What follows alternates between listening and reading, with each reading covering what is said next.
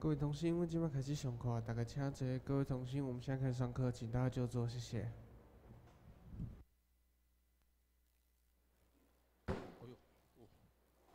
来，各位同学，咱即马搁继续哈。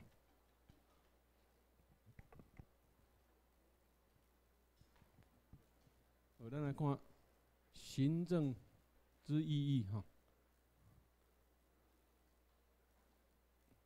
消极的有分消极的定义啊，那个来范围的定义啊，那个来实质的意义啊。一般消极的定义的用，只要立法机关所通过的法案，行政部门就依照依法行政，就依你国会通过所授权的法律范围啊来行政。啊，范围的定义，的看各相关委员会，啊，不是相关委员会，各行政部门认为必要的伊个范围，伊管会到的，伊就拢要管，啊。那么实质意义的，伊实际过去，啊，流传落来，哦，本来对一个部门啥物人咧管，就拢由这个部门咧管，哈。那么，咱来看行政权看行政国家。咱较早拢讲立法，人民有权授权立法部门国会来立法。啊，这迄阵是，敢若拢讲立法权优于行政权。啊，伫美国就是安尼，美国拢讲立法、行政较司法。先要有立法，国会立法，所立的法才让行政部门总统依法行政。总统若无依法行政，较后壁即个司法单位，哦，来甲看住即个提起诉讼啊啥吼，来个起起诉。那么现在即摆变做行政国家，就即摆行政行政部门的行政权说。敢若凌驾于立法权，我咱来看，啊，这相关行政相关职权会扩大的原因，啊，咱来检讨。第一就是讲，即马大家真注重社会福利政策，啊，啊，比如讲，伫一九二九年，美国发生经济大萧条，真侪人无头路，真侪人无饭通食。哦，所以会造成社会治安的问题。所以迄阵罗老罗斯福总统吼，较赶紧对设定一个叫做新政，吼，就是由政府部门、行政部门大力介入，来创一寡福利政策。啊，但是你爱去看讲，这人。是有啥物资格较会当甲补助？啊，比如我伫三十五年前，我第一开去美国，啊，佮发现讲银行外口大排长龙。我问问人讲，啊，迄是咧创啥？哦，啊，你对美国较了解人，较甲我解释讲，啊，即个人就是咧领救济金。啊，你看三十五年前，因着对即个即个。低收入的这弱势族群，政府都咧互因领救济金，起码伊呢价钱无问题安尼。那么你甲想，那么政府怎么要去了解这一些人有资格来领救助金？那么是毋是爱搁加请行政人员，爱去追查，看这弱势族群，甲审核讲啊，你真正低收入户，你需要国家来给你。发救助金，呃，所以因得爱去调查、造册，啊个审核，审核通过，啊个寄通知单，互即个弱势的人，伊伊领即张单去银行，会当领救助金，啊，即种个人，所以行政部门一直扩编，啊，啊，这是造成行政的职权一直扩大啊，过来规制行政。咱头拄仔咧讲诶，国会参众议员因咧立法，他们所立的法，拢是较算大范围、较笼统，哦，大方向诶。伊无甲你讲施行细则，所以伊诶施行细则，哦，即个规定啊，甲制度诶施行细则，是行政部门爱可以定施行细则。即个法规吼，因爱去讲较有诶，啊啊，即种嘛爱有人落去做，吼。过来公共建设行政，即马真济交通建设也好，还是水利，吼，啊，即个建设要起，吼，比如起机场、起港口，即为了国家诶即个竞争力，你爱做高速公路，和运输畅通。啊，即马逐个拢即马咧赶时间，即马咧拼拼速度。比如你手机啊要出，即马手机啊若出要外销全世界，无像较早电脑拢用船啊装。即马手机啊拢抢时间，因为三个月就出一个新机啊。甚至若全世界差不多逐个月拢有咧出新机啊，拢咧拼速度。像即马苹果 iPhone 六咧出，你看因诶迄个。库克，伊就甲即一礼拜内底所有全世界即个运输机吼，货货机拢订过来。伊 iPhone 六是用飞行机咧送，毋是咧用货车咧送，吼，毋是用船仔咧送，吼。啊，所以交通建设，你若要堪人竞争，你要有好诶机场、好诶港口，拢爱建设有够大，毋好讲。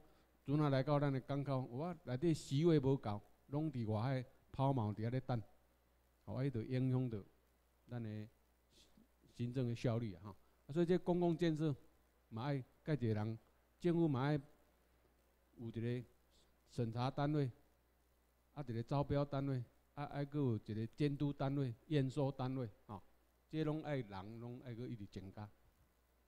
过来，国际交流行政。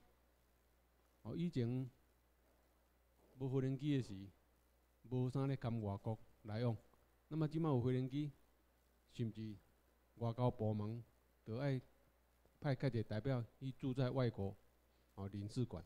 啊，当然咱即摆毋是国家，但是咱爱先了解有即个状况，即嘛是人人员来一直来吼。所以伫安尼情况下，行政部门诶职权一直扩大了，即个权力制衡功能失调。本来立法院咧立法，但是你甲想，头拄仔讲诶，百分之八十六拢是行政部门所送出来法案。啊，即么说变成讲，立法部门国会煞改成是行政部门的橡皮图章。因你送来百分之八十六送来法案，伫国会，哦，即摆来讲以英国诶国会，百分之九十七。即个法案拢会通过，行政部门送来法案，百分一百件、九十七件伫国会拢通过。等到议员家己送的法案，敢若三十八趴通过呢。哦，啊，这是因为讲行政部门伊是徛伫第一线，因上知影讲国家的需要、人民的需要，所以因所定出来的法律草案，送来到行政部门，尤其各拢是共党的。所以百分之九十七会通过，哈。头拄你讲这个就是这司法部门，哈。你即摆看，头拄仔讲的施行细则，迄个法律的规章制度较有的，拢是行政部门咧定，种咱的交通法规，哦，你违反交通有交通法法，哦，你按那甲你罚。煞行政部门咧发，也无送去司法部门，吼，无送去即个 法务部，无啊，拢行政的处罚，哦，就是说行政部门甲司法部分的即个权利，跟他摕去，哦，佮头拄讲的立法部分，结果头拄立法是行政部门。上个法案九十七趴拢通过，等到因家己国会，家己议员所送个法案，敢若三十八趴会通过呢。啊，议员伊个格局拢较细，大部分拢会看伊地区的需要呢。啊，我讲，比如讲你是东京区选出来，还是台办即区选出来，你敢若顾虑迄点，较无讲像行政部门伊，啊，过来。行政作用机动反反应的功能，啊，行政在权力分立体制上突出壮大，使立法优位相形失色。啊，头拄讲诶，立法部门做敢若橡皮，行政部门的橡皮图章呢？因为这行政体系哈，伊突出壮大就讲，咱比一个咧，比如今仔日。有一个人因兜着贼偷，啊，拄啊，迄个主人当伊去拄着。本来小偷还算小惊，但是迄个小偷，你要甲掠伊抵抗，用刀啊甲你拄，啊，这着伤。啊，小偷走去，啊，就即个厝诶人爱得报警，讲发生命案。第二，爱靠医疗，若比伊咱就伊讲中华民国体制，靠医疗叫救护车，爱甲这个人送病院对无？啊，即种行政部门，你无可能开予立法院，无可能开予司法单位，拢是行政部门吼。消防队爱派救护车来来甲即个病受伤的人送医。警察爱来搜证，找找看有啥物迹象、指纹也好，哦，还是调录影、监视录影带，啊，这种行政部门，啊，所以行政部门突出壮大，而且这个行政部门，佫会使讲是，另外警察局也好，消防局也好，消防队，因其二十四小时营业，哦，毋是营业啦吼，诶，正在执勤。但是立法院敢若开会时较有人呢，所以你无可能敲电话找立立法立法院的人来甲你处理，所以一定是行政部门吼。所以立法权呐，还是司法权拢相形失色。过来，民主政治重要的基础将由专业的技术文官体系或者行政所长精英来取代，行政权刷。大于立法司法，好像什么都行政部门在处理，啊，这就是，会使讲无多即卖社会进步吼，一直咧增加部门，啊，比如像美国，你敢有看到美国有迄落，诶，无，美国本来无即个国土安全部，是两千零一年九一事件发生了后，美国。他新创设一个行政部门，叫做国土安全部，就是召集各部门哦的精英哦来来召集。那么因为时间的关系，我这个部分先看，先讲到这，啊，咱来看。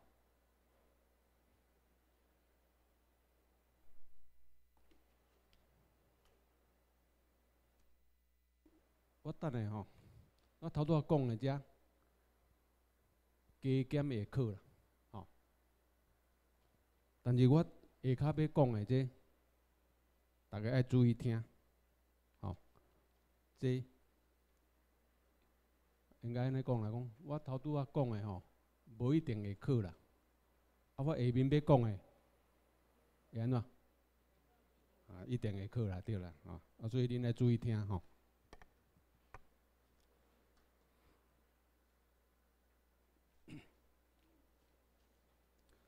来。我用北京话哈，议案的提出必须具有附带理由的议案，与赞成者联署向议长提出附带的预算的法律案，必须附上阐明实施该款法律案时所需的经费文书。再来，委员会设理事一名或数名，如果委员长有事的时候，由理事来行使职权。议长宣布开会之前，即宣布散会、延期开会或者休息后，任何人就不得就议事的问题来发言。表决的时候不得附带任何条件。还有表决时不在会场的议员，就视同弃权。再来。议员对其他议员的资格提起诉讼时，必须制制作具有诉讼要点、理由和证据的诉状。好，好。委员的选任均由议长提名，委员的辞职由议长许可。好有关众议院进行法官弹劾，法院的审判员及预备审判员的选举，以单记无记名投票的方式进行。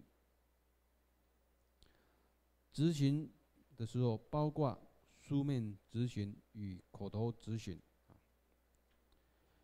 听证会之公诉人只听取。利害关系者和学识经验者啊，好，OK。再来，选举参众议院议长，在召集当日，集会的议员要达到总议员的三分之一以后，议院才可以举行议长的选举啊，是三分之一哈。好众议院重要职员的选举，以获得过半数选票啊为当选啊，是过半数，就是二分之一了哈。好，议院休会期间，如果议长认为紧急必要时，或总议员四分之一以上议员要求时，议院可以召开会议啊，是四分之一的议员。议员若要撤回所提出的议案，必须由全体提议者的全部人数请求才可以撤案啊，是全部啊，好。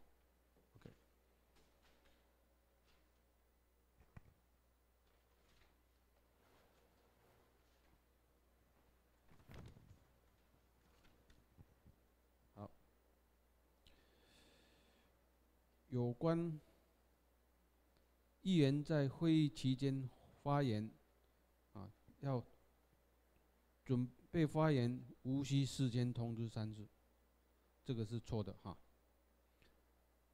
有关议员在会议期间发言，所有的发言都不得涉及议题外的问题，或者超出范围哈。所有的发言都不得涉及议题外的问题，或者超出其范围。好，如果出席议员达五分之一以上提出要求，就必须进行记名投票表决。啊，要五分之一以上。好。对于要求罢免法官的请愿，议长应转送。法官追诉委员会啊，罢免法官，议长应转送法官追诉委员会。好，有关议员的请假，好，必须附上理由，并确定日数，事先向议长提出请假书，而且经请假许可履行的议员。他出发还有回来的时候，必须向议长报告，啊，而且如果获得请假许可的议员，如果在请假期间又出席议院，则请假许可自动失去效力。好，再来，当选议员第一次出席的议员，必须向事务局出示当选证书啊，是出示当选证书啊，不是身份证哦哈。好，参议院调查委员会在参议院议员定期选举之后，第一次召开就要设立啊。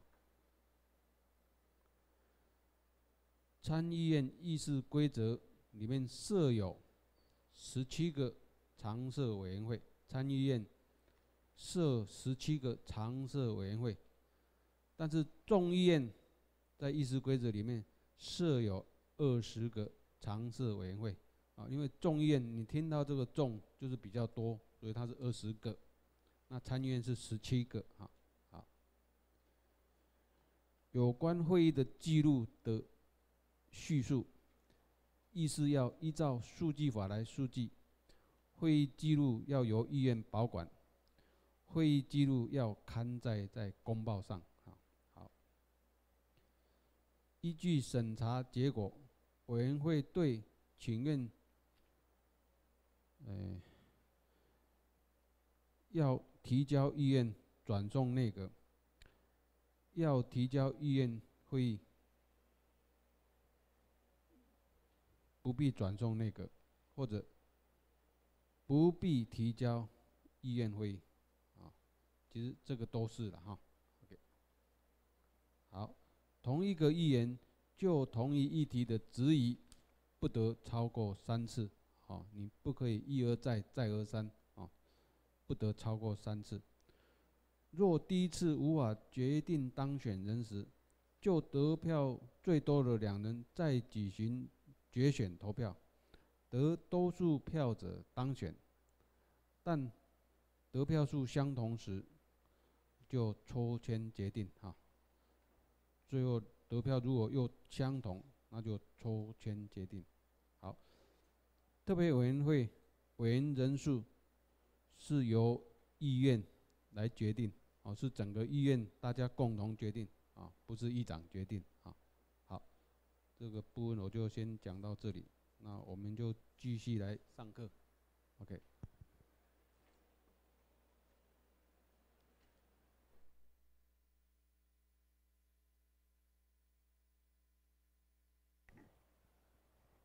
刚讲到行政部门的权力越来越大，行政部门的组织越来越多啊，就是依照社会的进步的进程啊，来创新设立新的部门啊，就像我刚刚讲的，美国二零零一年九一事件后，美国新创设一个部门叫做国土安全部啊，就是有关一些。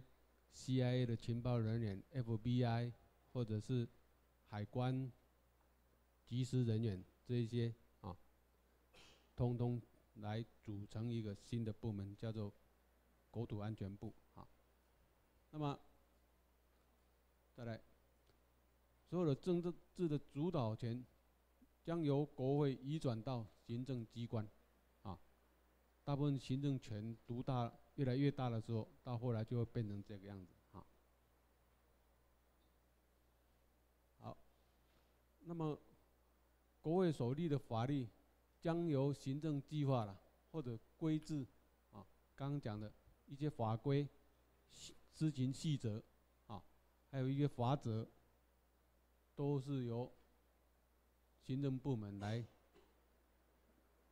来处理，哈，来设计。啊那么，人权与自由在行政法规啊的规制限制之下的秩序要求下受到危害，这种行政权独大的情况下，哦，就会有违反人权这种事情会发生。就好像现在的中华民国体制下，现在的行政权就凌驾于立法权啊。现像为什么警察？在执行勤务的时候，像这些游行抗议的人，安尼大个拱、小个拱，没有依照人马英九不是有签两人权两公约？可是马英九的下面的行政人员，尤其像在示威的群众，伊迄个咧讲，改成咧讲外国人安尼，改成咧修正，无甲台湾人民当作人民，吼，啊讲讲到老尾老滴，啊像那因警察敢讲，因为因经过过去的经验，讲愈大个，讲愈严重，即个指挥官升官，即个警察也升官，所以因找着机会就要讲，伊无咧想讲伊是来维护秩序呢，吼，一般伫美国，因正反两方吼，赞成的即边甲反对的，因是警察有牵隔离线，赞成伫即边，吼啊反对的示威伫即边，中警察咧顾咧巡逻，你若越线，警察就真正甲你讲。伊已经有咧规范啊，啊，咱这毋是，警察敢若拢找机会咧讲，吼，啊，所以人民的自人权甲自由会受到破坏，吼，迫害。OK，那么要安怎有效来制衡行政权的对策，吼，第一就是当然是爱落实依法行政。但即摆即个政府根本无咧依法行政，吼，讲拢讲依法行政，下骹拢。做到外个起作啊，那么财政国会中心主义，就是讲你政府的行政部门，你的预算是国会来给你审议，国会是依照行政部门的需要，哦，一定来给你，你拿扩编预算，伊会当给你删减预算，啊，你这个部门。你拢无咧依法行政，啊，比如讲行政署，啊，你若无要依法，吼，是保护人民，结果你拢咧讲人民，安尼国会部门会当甲你诶预算甲你删较济咧，互你警察，哦，加班费也无，啥也无，哦，真济会当用国会的即个伊诶立法审议法，即个审查。迄个预算的时，来甲你删减预算，互你歹叮当，吼，过来，对行政裁量权的监督，啊，啊，真济，即马敢若伫中华民国体制，立法委员、立法院，煞敢若像我拄仔咧讲的，橡皮图章，啊，啊，这就是这个国会议长，是毋是？有胆识，会当抵挡行政权独大的压力，吼。啊，这个你也想，这个王金平，伊过去我毋捌看伊一概硬起来过，所以伊就软软高高，所以行政部门就甲你软骨软头深骨。哦，你行你立法立法院长无迄个价值的是。当然，人就看紧你，吼，甲你食够够，吼。过来，对行政组织的制衡，本来你这个行政组织你要组成，那伫美国，美国的国会，它可以创新一个部门，嘛会当甲你合并部门，嘛会当甲你取消一个部门。哦，所以美国国会真有权呐。哦，无像伫台湾，总统甲行政，啊，到底咱即摆目前中华民国体制，到底是总统制啊，内阁制，啊，看拢无。较早蒋介石咧做总统的时，总统制，什么都他说了算。啊，结果伊死，哦，迄阵。迄个严家干起来，结果是迄阵是蒋介毋啊，蒋经国咧做行政院长，啊，迄阵煞开始换听行政部门，煞变内阁制，啊，创甲即嘛，哦，这双手掌制。总统有权无责任，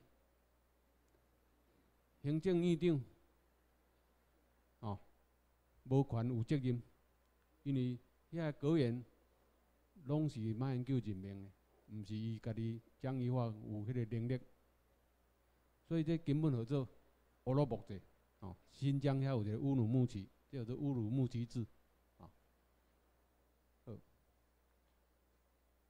过来，应该要对所有的行政部门的资讯要公开，哦，互人民知影讲你是咧做啥，哦。那么，我想头拄啊，我读起来安尼，大家听有无？哦，啊是讲，但是我想讲，为了公平起见啊，因为我过去我拢共读两摆啦，啊，所以我若想我应该我爱读两摆，互大家搁较熟悉。啊，这我读过，恁有一个印象。哦，所以就对国会哦伊个运作情况，恁加加减会了解，吼。来，我即摆过来读一解好啊，吼。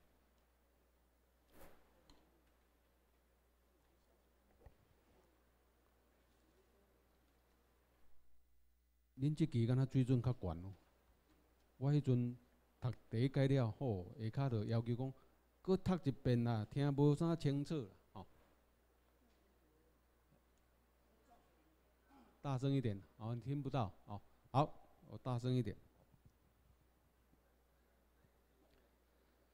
好，议案的提出必须具有附带理由的议案，与赞成者联署向议长提出附带预算的法案法律案，必须附上阐明实施该法律案时所需经费的。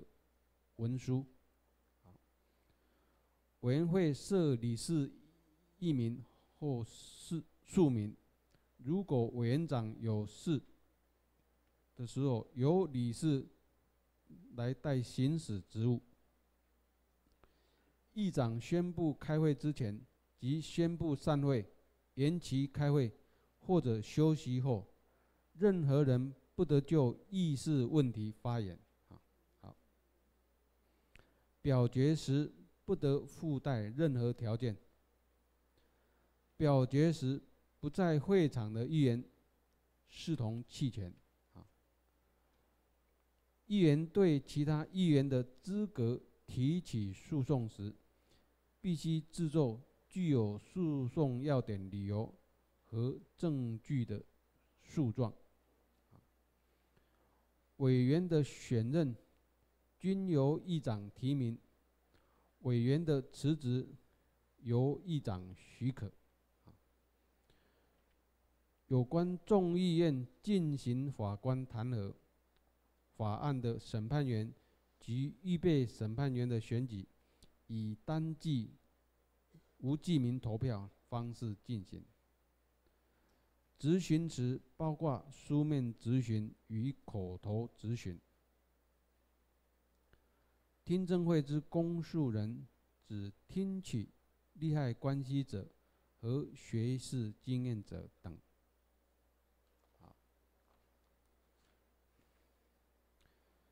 选举参众议长，选举参众议院议长，在召集当日，集会的议员要达总议员三分之一以上，才可以。举行议长的选举，好。参众议院重要职员的选举，以获得过半数选票为当选。过半数，好，二分之一。议院休会期间，如果议长认为紧急必要时，或总议员四分之一以上议员要求时，议院。就可以召开会议，哈，要四分之一。议员若要撤回所提出的议案，必须由全体提议者，啊，来请求，啊，才可以撤案。要全部的人，啊，众议院议员提出对内阁的信任或不信任案的动议。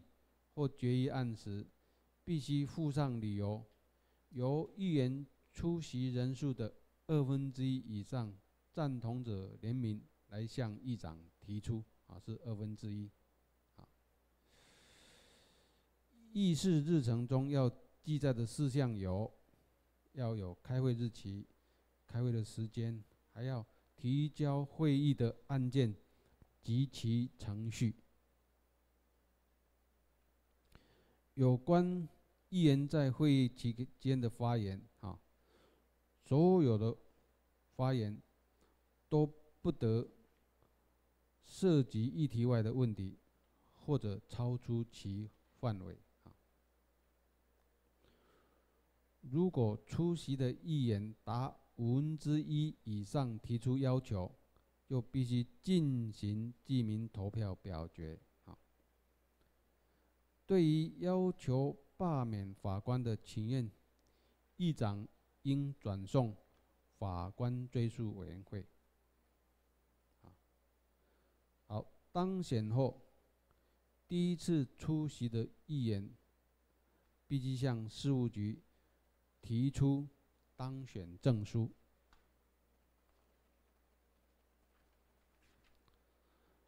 参议院调查委员会在参议院议员定期选举之后，第一次召集的时候就要设立啊。参议院的议事规则设有十七个常设委员会啊，是十七个常设委员会。众议院议事规则就设有二十个常设委员会啊。众议院你听到这个“众”就比较多啊，就是二十个。依据审查结果，委员会对请愿啊，需要提交议议院会议转送内阁啊，需要提交议院会议，但不必转送内阁哦。还有第三，不必提交议院会议啊。其实这个以上皆是哈。OK。同一个议员就同一议题质疑不得超过三次，啊，所以不得超过三次，不可以一而再再而三，啊，好。若第一次无法决定当选人时，就得票最多的两人再举行决选投票，得多数票者当选，但得票数又相同时。就抽签决定啊，抽签决定。特别委员会委员人数是由议院来决定啊，是议院决定，不是议长啊，哈。好，以上，OK。台生，我的时间是到十分钟还是二十？到二十，OK，好。好，那我们顺便翻开我们这一本。啊从后面翻过来，有一个六十八页的第五节常设委员会，啊，从后面翻有一个六十八页，里面有一个第五节常设委员会。那么，因为将来各位有可能是在国会当议员，哦，在各地方当。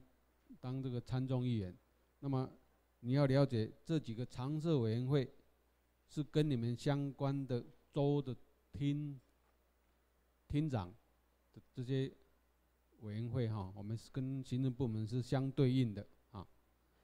如果说你是在对交通啊有专业，或者对环保有专业，或者建设部门有专业，你可以找一个委员会来参与。啊，那我们来了解，它里面所讲的，他们的职权范围有哪一些？主要他们在处理什么事情？啊，我们一个一个来看。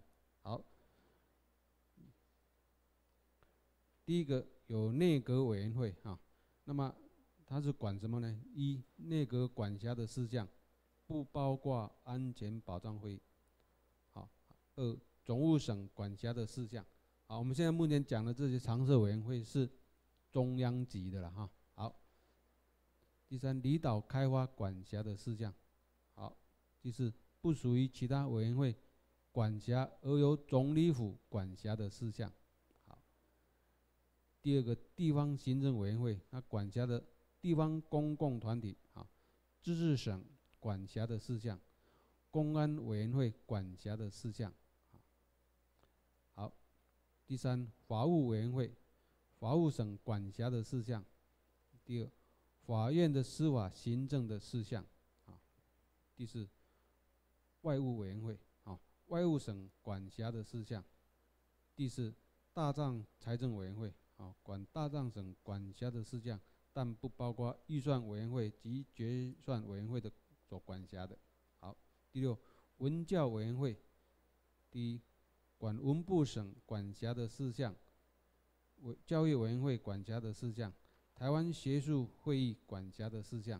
啊，第七，后生卫生医疗委员会管后生省管辖的事项。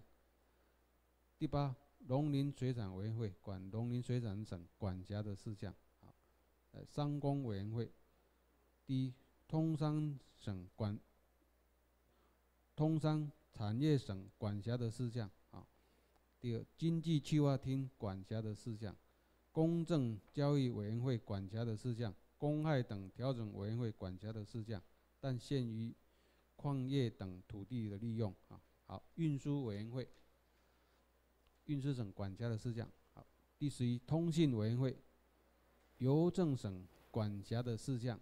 好，第十二，劳动委员会，管劳动省管辖的事项。呃，建设委员会。管建设省管辖的事项，还有国土厅管辖的事项。第十四，安全保障委员会管防卫厅管辖的事项。第十五，科学技术委员会管科学技术厅管辖的事项。再来环境委员会啊，环境厅管辖的事项。你看这些厅啊，就是好比我们各州有各州的这些厅啊。环境厅啊，还有教育厅啊，这些厅，所以我们是相对应的哈。好，OK，再来公害等调整委员会管辖的事项，但不包括商工委员会管辖的。再来预算委员会管预算，决算委员会管决算啊，还有同意预备费的支出的事项，同意从决算调整资金编入税入的事项，还有第四国。国库债务负担行为总报告书啊，还有国有财产增减和现存额计算书及无偿贷款计划总报告书，还有其他会计审计院管辖的事项。好，第十九，医院营运委员会啊，医院管医院的营运、医院的过程、议长的答询、法院法官弹劾和法官追诉委员会。还有管国会图书馆，还有其他医院的法规啊的制定啊，惩罚委员会就是惩罚议员或者议员资格的诉讼，啊，好这些很多行政部门跟立法部门哦有一些相对应的单位啊，好比你行政部门所送出来的议议案的草案。就会送到这些常设委员会来经过审议，哦，一般在这边就也当底下的决生死啊，发展哪几家的无通过，就草案就在这边就结束了，哈，好，那么刚刚我在讲有关助理，国会的助理，啊，你不要看清这个助理，这些助理，哦，在我们。台湾哈，之前就发生一个超级助理员，就是陈水扁，因为那个有一个叫做冯来岛事件，就是冯富祥，有冯来岛，好，一人陈水扁当冯来岛杂志社社长，他有一篇文章就讽刺冯富祥，他把国外的著作把它翻译。变成他的著作，啊，那么被冯富祥告，就你知道，冯富祥他是国民党的嘛哈，啊，法院国民党开的，所以很快的，陈被陈水扁就被被判刑，所以被关。然后你看他被关的时候，那时候正好在立法委员选举，吴淑珍就代夫出出征，结果高票当选。